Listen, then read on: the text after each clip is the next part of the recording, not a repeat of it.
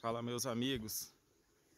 É, Eu vou estar tá mostrando aqui agora Essa frutífera aqui ó. É, Essa fruta aqui Eu conheço ela como é, Por marmelada da, da mata Marmelada do mato. Ela dessa fruta aqui ó. Alguém aí conhece? Ó e essa fruta aqui, quando ela amadurece, ela fica preta. Uma madura ali, ó.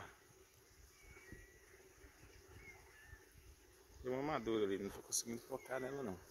Vou tentar pegar uma ali, para mim estar tá mostrando para vocês quando ela madura. Ó, ela fica assim preta. E a polpa dela Essa aqui, essa aqui ela tá, tá meio passada, não, ainda não tá madurando. Mas dá pra ver mais ou menos. Essa aqui ela tá meio passada, mas a polpa dela fica assim, ó. Parecendo um doce de chocolate. E é comestível, pessoal.